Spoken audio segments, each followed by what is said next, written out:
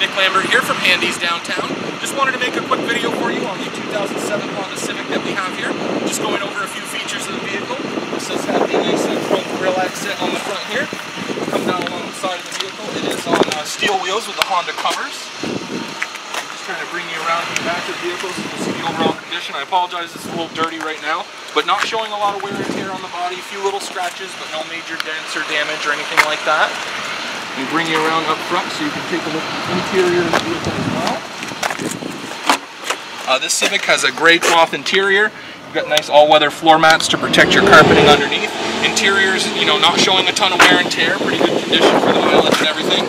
You've got manual adjustable seating, but you got power locks, power windows, power mirrors.